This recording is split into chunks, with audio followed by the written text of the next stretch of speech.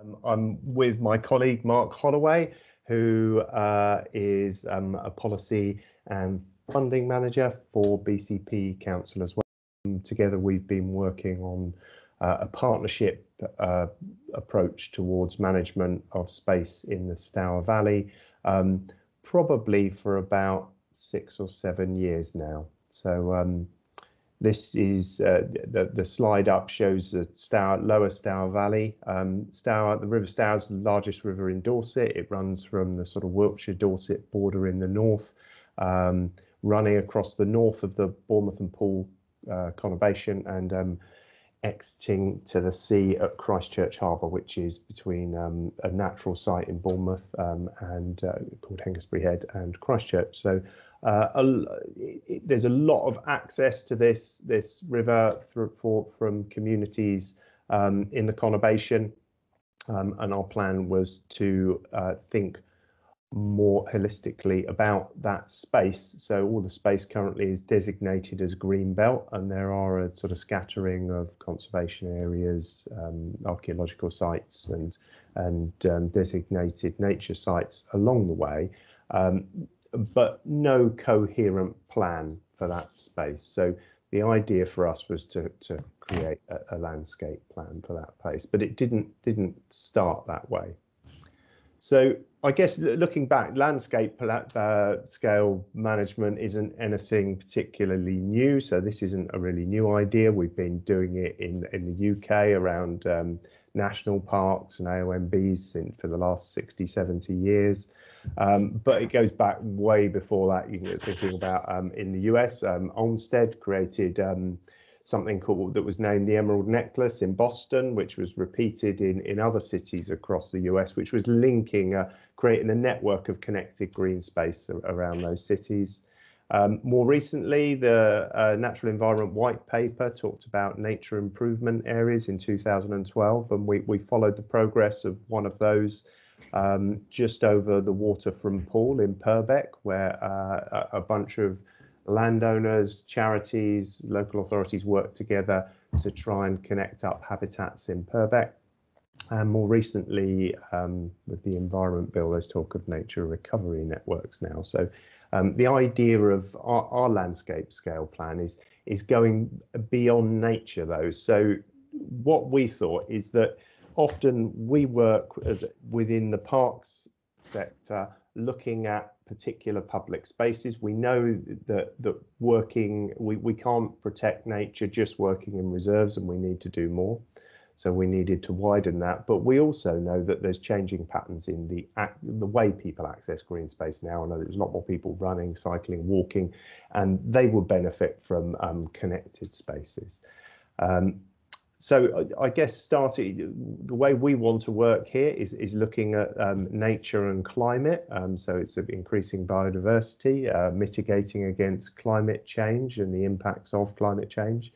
Um, doing more for recreation, trying to stimulate the local economy, uh, doing more for local heritage, uh, planning for better housing, um, where people have got more access to green space and we have housing that's more integrated with the natural environment, and also then looking at access and transport. So there's a, a number of different themes about the, the, the partnership that we're working with.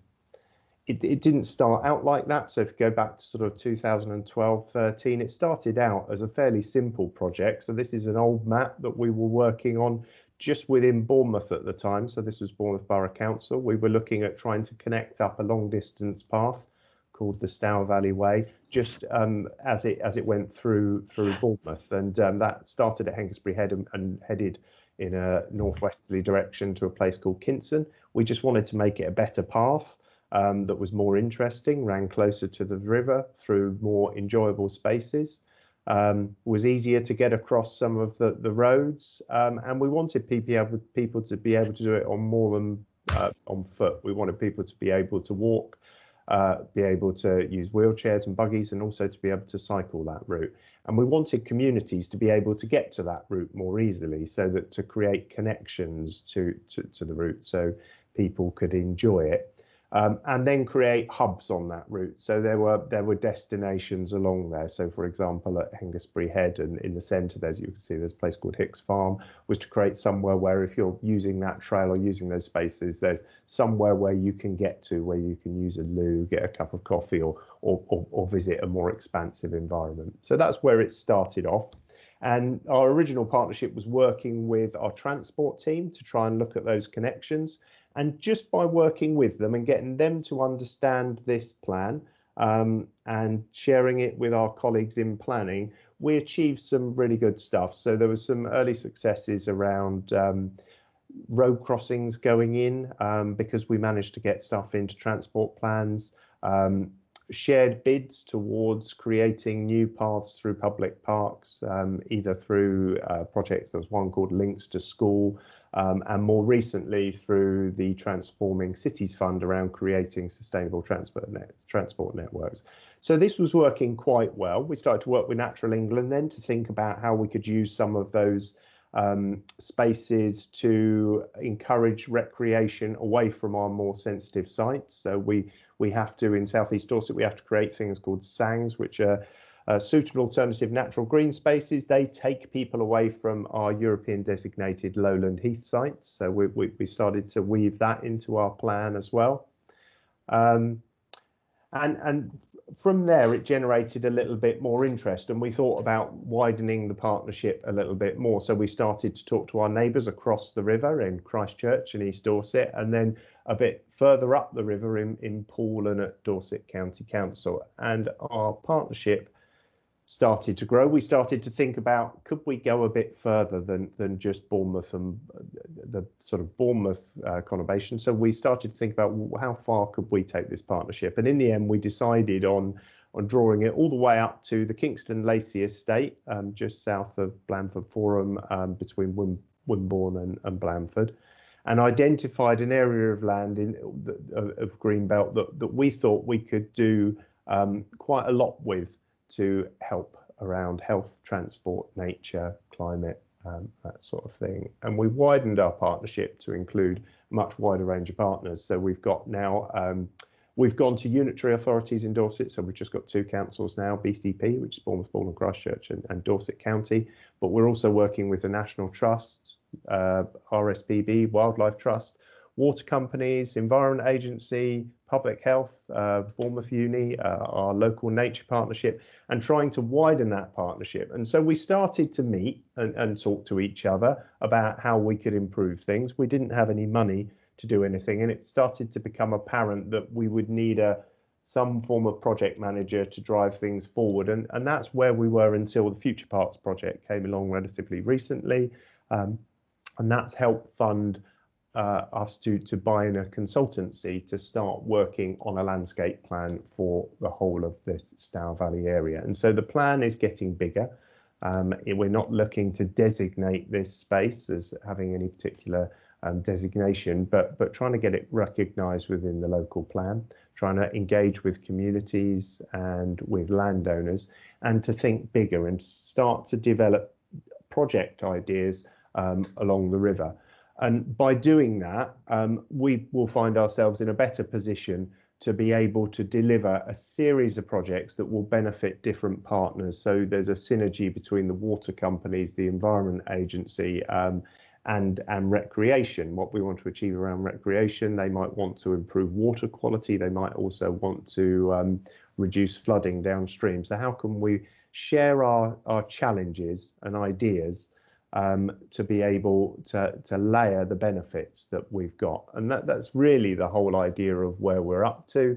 Um, we're doing all right so far. There's still a long way to go, but the, the bigger we can build the partnership, the more successes we can show around individual projects, um, the more likely people get involved. I guess that that it's never it's not been easy, and uh, along the way there have been points where it's sort of lost a little bit of momentum, and people have um, sort of uh, drifted in and out of the partnership, or their commitment to it has changed. But I think as long as you know whoever's leading that partnership remains committed, and you're always pushing towards your next goal, you will get there. Um, and as long as the idea around working in partnership is, is, is genuinely working in partnership, that you're genuinely trying to help work together to to resolve mutual issues or, or, or find ways to solve problems together. And what we also find is that, that there's so much we can do together where we make much better use of funds um, where we're achieving shared objectives. Um, that's probably enough to just talk a, a, little bit about this partnership at the moment. Um, we've got a video around the Stour Valley Park to give you a little bit more information about it. Um, there's some information on the Dorset Local Nature Partnership website as well. So if you go to the Stour Valley Park website, you can watch the video and find out a bit, a little bit about our work and consultation coming up. And then there's a little bit more about the history of the, the partnership on the Dorset LNP website. There's also my colleague Mark's uh, email details because Mark knows lots more about this project than me. So um, I can now take some questions, or Mark can as well, from Caroline. Thank you. Thanks very much, Michael. Um, I'll jump straight in with a, one of the questions that an attendee at the event um, submitted that I, I think uh, you know was kind of general but very applicable here. You spoke about um, some of the fluctuations in the partnership and the sort of time that people were able to to give it and um, that kind of thing. We had a question: How do you create long-term partnerships at scale? that will connect up parks and green spaces to deliver long-term change. Um, so yeah, that that sort of building long-term partnership. What learning would you share from this project on that that partnership journey? Okay. Do you want to have a go at that, Mark, first? yes, I, I, think, well, as you mentioned, Michael, we started in 2012 13. Um, I think we were pushed along a little bit by um, uh, Natural England and, and, and we just gradually um, went out and sold this story that we, we could do more, um, as Michael des- described, not just in Bournemouth, but all, all the way up to uh, Kingston Lacy, which is actually about 25 kilometre stretch. And just one by one, we got organisations involved, um, like the Environment Agency, um, like the Wildlife Trust, the um, Local Nature Partnership, um, just talking to them, bringing them along. The meetings got a little bit bigger, and people get more enthusiastic. Um, and uh, I think we're up to about 12 or 13 organisations now that are part of it. Some have only just joined in the last couple of years. So I just think it's hard work going out, selling the story, attending meetings, going to your local nature partnership, um, and um, networking. Uh, just lots of hard work on the ground. Uh, which eventually ended up with the our colleagues in the RSPB saying we could help you a bit more with this. So they drew up a an agreement that we got each of our stakeholders to, to sign up to, which just uh, bound them a little bit more to the the project. Um, and I think most of the people have now signed up to that uh, fairly sort of flexible memorandum of understanding about how they were going to help us. Um, I think that's it really. Um, but it's well worth putting in all that effort. And I think as we've gone along, um, sort of credibility for the project has risen, and um, more people are talking about it. More people are coming on board. Great, thank you. Um, I've got another question here, which is about um, health and obviously you didn't delve into to detail about the health work that you're doing but i know that's a key part of this this project and you mentioned that public health dorset is a, a key partner um, how are you finding that currently given the immediate health protection demands um, you know what, what ways can we meaningfully engage people in that longer term health thinking at this time if you've got any tips or reflections on that. I can start off a little bit um, and then hand on to Mark. But I think we, are quite lucky that um, our um, assistant director for public health um, is is really enthusiastic about the, the, how green space can impact on health. Um, you know, they're, they're, clear that that we, we can't uh, medicate our way out of the problems that we have, um, and and they've seen what we can do, how busy parks can be when you get them right. I think Mark had worked on a project at Stour Valley Nature Reserve, which is one of the, the hubs along uh, this site just by putting in a visitor centre, which was um, it was a, it was an existing barn, but by having a fairly relaxed cafe there, a small visitor and interpretation centre manned by volunteers, um, and a bit of signage and interpretation, I think we've doubled the number of visitors using that space. They're really happily enjoying that space they get and you could you just see the benefits. One they're engaging with nature. Secondly they're engaging with people and meeting people. They can, they're, they're more likely to come out and volunteer. And all of that has been fairly easy to be able to to demonstrate to our health partners. So they, they've been on board um, I guess in terms of support, they've been on board. They haven't been able to give us a lot of money, um, but they're working with us to demonstrate the benefits that we can show here. And I think one of the, the, the challenges we've got going forward is is around data and getting far better data on what's happening in that that natural environment. There's interesting another thing around the Stour Valley is um, talking to Wessex Water and Natural England around the antidepressants currently going into watercourses. Um, much harder to get out of the watercourse than through than, than through than through traditional sewage management, um, and it has an impact on aquatic um, uh, invertebrates. Well, in fact, on all aquatic um, life. So, um, but if we can get people, we improve those environments for people, we can get people out more, um, reduce the need for them to be on those those antidepressants and and clean up our, our, our water at the same time. So you start to realise that some of the solutions to the problems is it investing in better sewage purification or is, is it better investing in better spaces? So um, work we're doing with vivid economics, for example, through the future parks, it's all layering itself together to make a better case for investment in space. But we've got a long way to go to prove that we're making a difference still, I think. I don't know if more, what Mark wants to add at all. Well, if there's just a moment to add, I, th I think the answer to this is quite simple, really. Probably a little story is that um, I started out as a ranger many years ago, taking a dozen people out and about, and I think a lot of people are doing that um, at the moment, and it may be um, for dementia reasons or people who have got mental health problems. But it's just the, the tip of an iceberg. You know, if we can do things on a landscape scale, as we're trying to do here, um, across about 75 square kilometres of a new park, adjacent to half the population of Dorset in the southeast Dorset conurbation. And we just make it um, incidental access. People just come across this on a daily basis. Um, and there are greenways from the town retrofitted and leading into these spaces. We don't have to tell people to go out and do stuff. They just come across it. And I think we know from all the evidence now, which is unequivocal across the country and across the world about contact with nature, lowering blood pressure, um, et cetera, et. I think we could do things on a mass scale and influence tens of thousands of people without being too prescriptive. Great, thank you very much. I'm just going to steal one more minute of your time for a final question. It's quite a big one. So answers as snappy as you can make them. What do you hope for to create a thriving and sustainable park sector?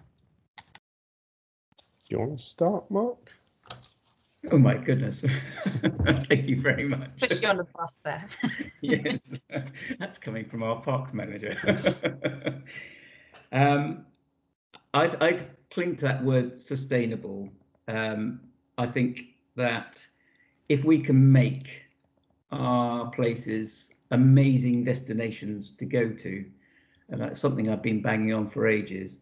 Let's say most people decide that going out to a park, um, or let's say the Stour Valley Park, is such great fun. I can go netting and stand in the river, and the kids can, um, you know, get out and about. Um, we can have an ice cream. We've got good facilities, toilets. We can meet a ranger etc., etc. And as we've proven, perhaps on one or two of our sites, especially um, Kingfisher Barn, which Michael mentioned earlier, um, people want to go there rather than the high street, say on a Saturday afternoon, um, and go for a coffee and go shopping. if we can compete with that and make real change and make um, their places amazing and be competitive, then I think we will attract people into our parks. We will increase our revenue, and we know from working with um, our Bournemouth Parks Foundation, our allied charity to our parks, that we can create the revenues which can then be fed back into parks. And this is something that uh, absolutely critical to, to making sustainable parks. I think that would be my first answer to a very complex question. Thanks very much, Michael. So I would just, I, I think I would echo that. Um, that, that. Our parks just have to, we have to start thinking that our parks have, it, have got to reinvent themselves a little bit. They can, they can be. I don't want to sound that, that, you know that we put an awful lot of effort into them, but some of them are a little bit dated. Our concept of parks is is is somewhat dated, and I think if if we reflect on what the Victorians and the Edwardians did for for public parks and how they solved a challenge at their time around physical activity and you know transform people's lives through the introduction of sport, is we need to understand what are the problems we've got today and what is going to transform people's lives, what is going to genuinely excite people to come to parks. We don't want to drag them into our public parks. We want them to be desperate to come to them. And that means we have to create spaces that people really, really enjoy. That means good facilities, clean toilets, nice coffee, uh, affordable food, um, and just places where you can have a lot of fun and do the things that you want to do do the things outside of work hours. So we need to be thinking about when we're staffing parks um, and, and making them feel safe and making sure there's opportunities for people to really, really enjoy them. And that is what will change them. It's, I, I think you know, we can gather lots of evidence, but what we need to be able to show, and, and we're working on that through some ideas around pilot parks, is to try and create some parks that are just different how public parks function at the moment and then be able to show our politicians this is the difference that we can make. And i think we've got to show that before um, before we see people getting on board and putting more money into parks. So that's for us that's our focus is however we manage to do it we've got to create some absolute shining examples of fantastic parks um, to be able to to demonstrate that they really are worth investing in Ollie Burke from Nene Park, Cambridgeshire and Peterborough FPA. So thank you, Ollie, for agreeing to, to do this. A short five minutes again. Um, I will I'll very much try and keep it to. Really appreciate it. Thank uh, no problem. I'll very much try and keep it to uh, five minutes. Thanks very much for inviting me to speak. Uh, my name's Oliver. I'm the uh, project uh, chair for the Future Parks uh, programme in Cambridgeshire. And uh, I was going to talk to you a bit about the nuts and bolts. It's not very glamorous. Uh, and I know that uh, Bournemouth and Poole were following me and they were going to add a bit of sparkle. But uh, I think it's been a hugely important part of our programme, particularly when we're looking at influencing the future of parks uh, at a landscape scale. So next slide, please. Um, so really, I just want to give you a quick overview and flavour of the project and what we're doing. Um, a quick run through of building the partnership because that's been absolutely critical and key in getting us to the point we're at now. And I think you can't underestimate the amount of time it requires to build the partnership, even when you think you've got a good partnership in the first place. Uh, and then just touching on some of the lessons learned uh, at the end. So if we can run, run, run through. Next slide, please. Um, so just put you uh, put it in context. So we're the only Future Parks program working at a county scale. So we're covering the whole of Cambridgeshire and Peterborough. Um, that includes seven districts authorities. Uh, it's a partnership with the local nature partnership. Uh, added complexities uh, that we've got a, a, new mayor's office now. So we've got the Cambridgeshire and Peterborough combined authority we're working very closely with. Um, we're a rapid growth area. Uh, Peterborough and Cambridge are two of the most rapidly growing cities uh, in the country, and we've also got the Oxford to Cambridgeshire growth arc running through our project area as well. Uh, and we've got some stark inequalities. We've got some very, very rural areas in parts of uh, Fenland, and we've got some very, very urban areas as well. Um, the four main themes that we're covering through the programme, uh, as you might uh, assume, are growth and development being one of the key ones obviously how we're engaging our stakeholders, particularly giving communities voice in the way that parks are being uh, managed and funded. Um, the one that most local authorities are uh, focused around, which is uh, how parks are funded and operated uh, into the future, then obviously uh, uh, the evaluation going alongside that. Next slide, please. Um, I'll skip very quickly through these. So one of the things that we've really had to focus on is a very uh, robust governance structure. I won't spend any more time on that. You can have a look at that in due course. Next slide, please.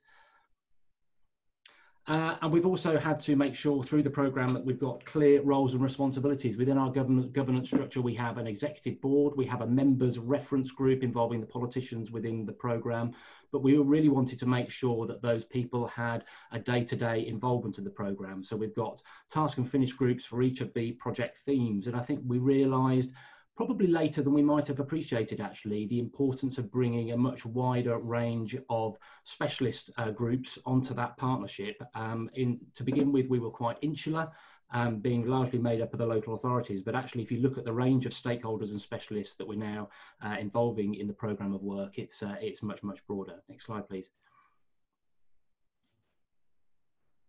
Um, working flexibly smart, as you might appreciate, um, project planning and uh, project timescales and milestones and, and all of those things that would come with typical project management, absolutely essential. But actually, what we've realised uh, in engaging uh, such a wide range of stakeholders at the scale we're working at, we need absolute flexibility. Obviously, COVID has come along, uh, has meant we've needed to be very flexible uh, in that regard. But also, we've recognised that many of our partners, many of the district authorities that we're working with, um, can move forward at different speeds. Um, some have lots of resources they can put into this program at the moment and, and are probably um, the trailblazers, others less so. Uh, and that's not to see, we're not to see that as a negative thing. That's just a recognition of how the landscape is that we're working in. Uh, and we've needed to make sure uh, we turn that into a positive in order to maintain the partnership. Next slide, please. Communication has been critical and actually the amount of time uh, that's been required to communicate, particularly in the early stages uh, of the project, can't be underestimated. We've had a huge number of meetings, both within the project team uh, and also our executive board partners and, wider stakeholders. And actually, we massively underestimated the amount of time uh, required, particularly in those early stages of the project. Next slide, please. Um, and all of this in terms of building the partnership, the most um, impact that that has had is actually building a sense of trust and credibility uh, amongst that uh, partnership. One of the things that we've done very early on is actually to build a, an asset register um, of all the public open space we have across the county. And that's the first time that actually local authorities on the patch have worked together so closely in sharing information. And actually, the amount of time we spent on building that partnership was critical in terms of easing that data flow. Uh, it's also enabled us to be much more open and honest with each other about critical thinking, uh, innovative thinking, and actually challenging the way that we do things. I think if we hadn't worked tirelessly to form that partnership, people um, would be much more cagey about sharing that information, some of which is politically sensitive, some of which could be commercially sensitive. And that's really allowed us to speed up the progress that we've made uh, with the project and actually open the doors and um, uh, I guess grease the wheels in terms of um, allowing the consultants that we're working with access to the data that they need to uh, draw conclusions and help us move forward. Next slide, please. Um, so some of the key lessons learned, I think you probably get a, a, sense that time, the amount of time actually that's been spent in building that partnership, but as I said, when we thought we got a strong partnership already, actually getting to a point where everyone felt comfortable to share information, uh, learning, and also to challenge each other without um, offending each other, um, that was hugely important. Communication was critical. That ability to flex uh, and adapt, and also realize that what we're doing now uh, during the funded period of the FPA program is just a start. And actually, we've got a 50, 20 year process of, of, of transition and innovation that we're going to be going through. Um, we also realise there's a huge amount going on in the sector. In Cambridgeshire, it's a hugely busy landscape, and I'm sure in your own patches, there's lots and lots of work going on. Uh, we've spent a lot of time as a project team joining up that work, looking at where we can work in partnership and making sure we minimise uh, overlap and maximise uh, effectiveness. Um, and of course, we've had to really prioritize. This comes back to this idea of, of focusing on the quick wins, the things that we can make a difference on now, but not losing sight of what our ultimate ambition is and what we might want to achieve uh, in a much longer time frame. Okay, I'm going to finish there. Rattle off. There we go. Quick. Thank you so much. Hello, my name is Nick Grayson. I'm the Green City Manager for Birmingham City Council a senior research fellow at the University of Birmingham and an advisor to the Future Parks Accelerator in Birmingham, which is the topic I want to uh, share with you now.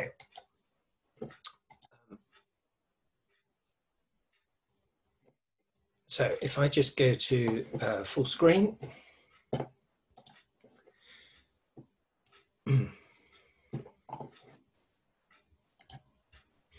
and talk you through. The Birmingham Parks Accelerator is a, is a very ambitious program looking to essentially put nature at the centre of decision making for the whole council. So it's not um, just purely a parks driven program. It's about a transformational change as to how we see things in relation to the importance of nature and its role, particularly in cities. There's a lovely quote here from uh, Alberto Villoldo, uh, which talks about the fact that most people follow maps and occasionally some people uh, draft them. So uh, if I just take you through our thinking, um, you can see here a simple diagram, uh, but it's how are these three global agendas actually interconnected? We all know about the climate emergency and the ecological emergency. Our media and press are full of those stories. And of course, we're living through the implications of COVID 19 right now.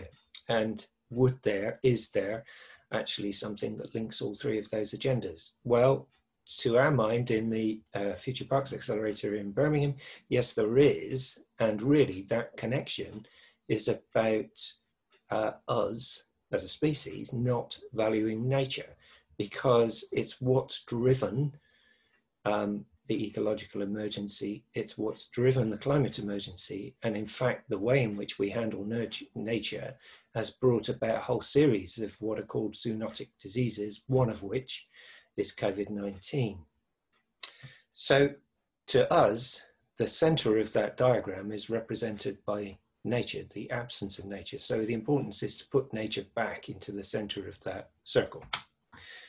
If you actually look at what are the connecting threads across those three agendas, then again, for us, and in particular in cities, we consider it to be environmental justice as acting as a common currency. And that, again, can be at various scales from the individual right through to um, the whole city or the region or in fact the country. Um, but it's this connectivity around environmental justice that we think is really important and is something that hasn't historically uh, been at the forefront of the green sector movement. And we think that is essential if we're going to go forward in a different way. If we actually look at how uh, justice social and economic justice is considered in cities right now, um, the system which you're probably all familiar with is the indices of multiple deprivation. Um, interestingly, they're reported to MHCLG, the Ministry of Housing, uh, Communities and Local Government, which is the same ministry that's the sponsor of the Future Parks Accelerator um, program. Now, what we're pointing out is that even though there's a subdomain here that talks of the living environment, when you actually analyze what's being measured, they're proxy measures. And in fact, what comes out is the quality of housing, air quality, and the number of road traffic accidents. So at no point in the whole of this national assessment process for cities is access to the natural environment or the green environment in cities being considered in relation to people's well-being and their um, uh, prospects and prosperity. So we believe that's a massive gap and it's one that we want to bring about through our Future Parks Accelerator program. And for us, because it connects that social and economic and environment, that's how we're explaining the need for environmental justice.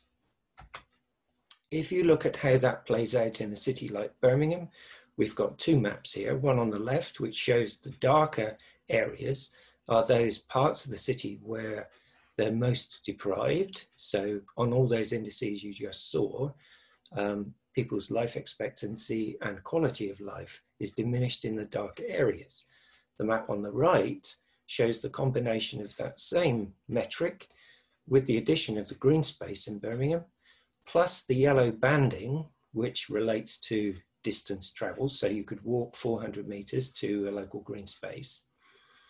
And that's about um, physical access and distribution. But what's also included on that map are the red outline areas, which are the uh, proposed future housing scheduled land for the city. And we have to accommodate 51,000 people over the course of our current uh, development plan. Now, you can see very clearly that the main bulk of that housing lies across the centre part of the city, which is also currently one of the most deprived in relation to both socio and economic data, but also access to large or good quality green space. And if you zoom in into one of those particular wards, just to emphasize the point, here's one where the ward is Bordesley and Highgate, which is quite close to the city centre. You can see within that turquoise boundary the current position of green space in that ward. And currently, to meet the demands of the current population, that's already 39% below what is recommended. If we fill in all the red uh, areas there and build out those as small um, housing units uh, with no provision of green space, because each of those are really, really quite small plots of land, then actually you're increasing the population and the density. And at the end of your plan period by 2031, we'll have more people living in the ward sharing the same amount of green space and what the net result will be a 59% um, below recommended levels of access to green space. So what we're trying to point out here is that the city is trying to make decisions, corporate decisions, but due to the sort of siloed thinking that exists and the lack of recognition of that original diagram, which talked about the natural environment being at the center of these major agendas, because it's not there, the consequence of these decisions is not being recognized. And for years and years and years, this is what's been going on in our cities. So we want to bring this right to the forefront and change the way in which that's prioritized. Now, one of the things that's always argued is that it's about affordability and the value. Well, our contention again is that if you look at a five capitals model, um, the problem with our current uh, gross domestic product GDP is that it tends to just measure the two central capitals there of manufactured and finance capital and does not make a good job of capturing social, human or natural capital. And the issue with natural capital is that all our wealth and health for the whole city and in fact for the whole of the globe is drawn from our dependency on nature. And yet it doesn't exist in our governance structures. So our move is to put environmental justice at the center of our considerations, look at it at different scales, and then look at how do those values play out at a district level, at an individual level, at a city level, and attribute those values to the various parts of the council operation and our partners so that we get an holistic view of the value that green space and nature would could play in the future across the whole of the city and in particular in those zones of greatest need. That then brings you to a whole new governance model for the city, which we're um, framing at the moment, which puts the natural environment at the center.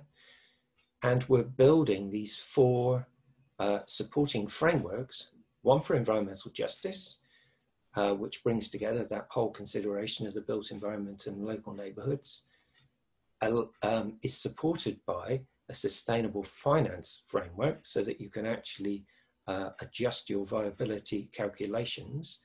That will allow you to deliver your healthy city outcomes that everybody seeks and at the same time engage the citizens a lot more because you've changed the system to one that is responsive to their needs.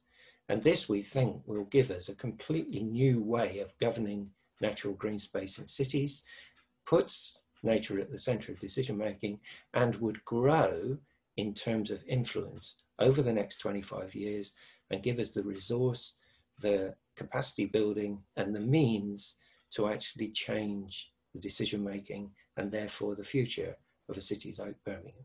So thank you for listening and any questions, uh, please email me or follow up through Naturally Birmingham. Hello, I'm Barbara Hooper from Urban Green Newcastle, and I'm talking today about how we operate at a landscape scale. Now, when I was asked to speak, I thought this was an interesting question because we are an independent charity managing 33 parks and 3,000 allotments across Newcastle City. So we don't have one vast estate like the National Trust, and we're not doing a landscape scale partnership across a wide area we have a number of discrete parks and allotments. And the question is, is that a landscape? Well, when we discuss our work, whether it's woodland management or wildlife corridors or funding or the volunteering offer or events, we always talk about that on an estate-wide basis and the value to the city across the whole, the whole.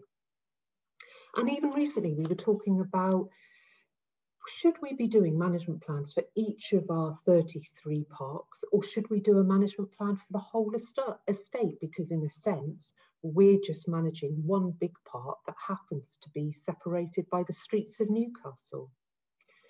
We did decide that was too unwieldy so we're not doing that but it did make us reflect on the challenges to operating at a landscape scale when the sites are dispersed. And I think there are two key issues. One, the physical issues. How do you make those linkages? And the second are the psychological issues as well. Now, the physical, I think, of the two challenges is possibly the easier. It's not easy, but it's easier.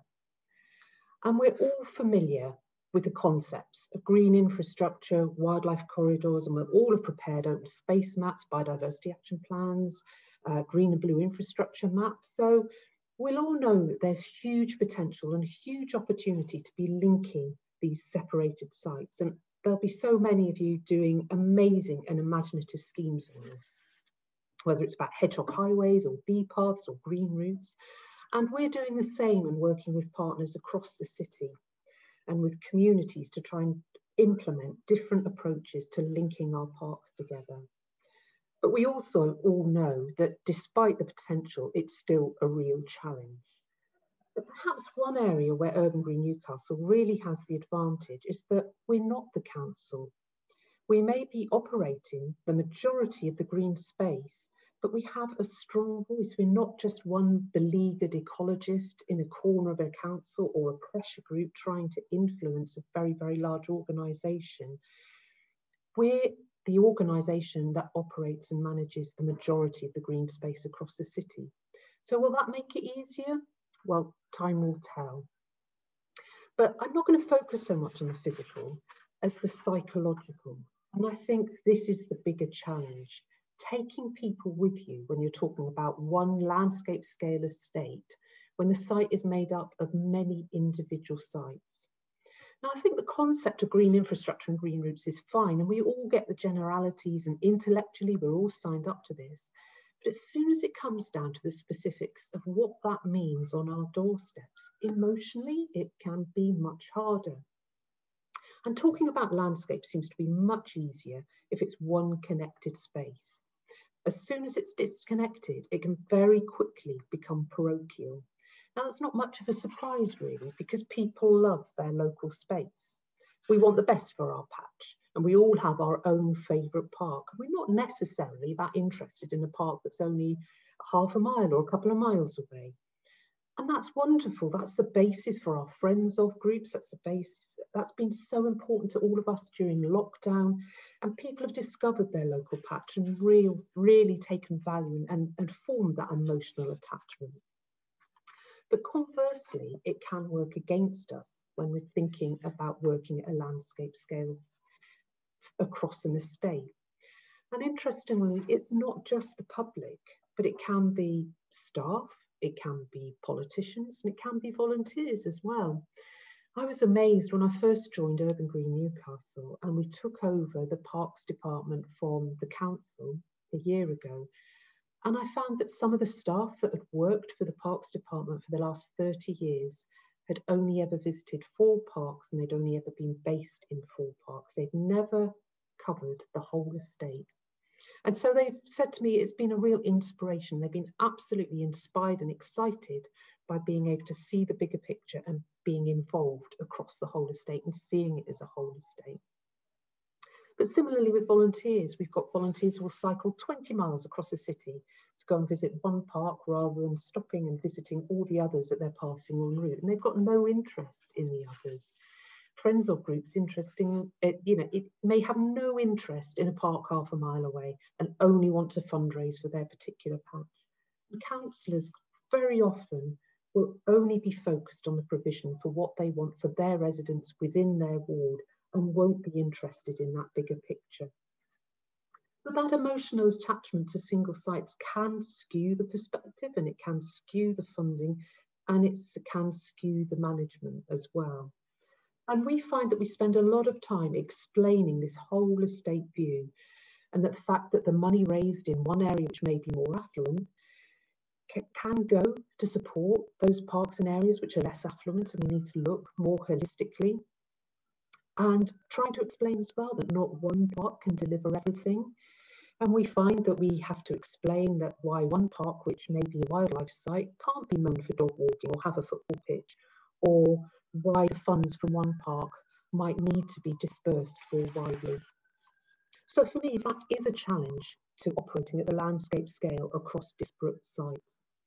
So how can we address that? Well, for Urban Green Newcastle, we're looking at it in a number of different ways. We're thinking about the management plans.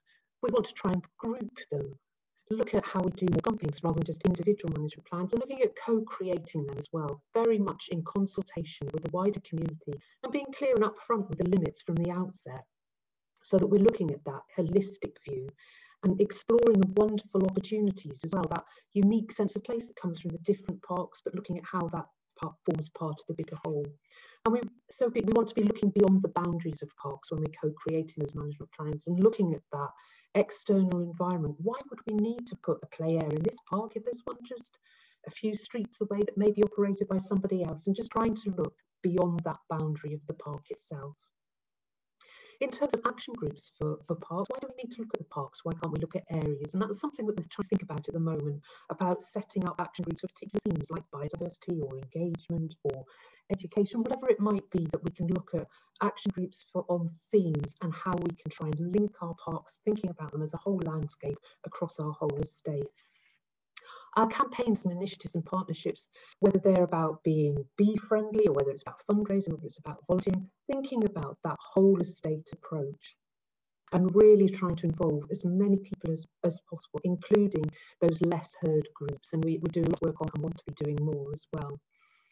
Now, the National Park City, we've signed up to try and become a National Park City, and that may provide us with a great vehicle for overcoming this, this very parochial view and seeing the city as a whole and the parks as a whole across the city as well. And I said time as my last bullet. I think only time will tell. So to sum up, Urban Newcastle does work at a landscape scale and we have challenges physically and emotionally, but there's huge opportunities there. But ask us in five years' time whether we've been successful at actually achieving what we want to achieve. Thank you.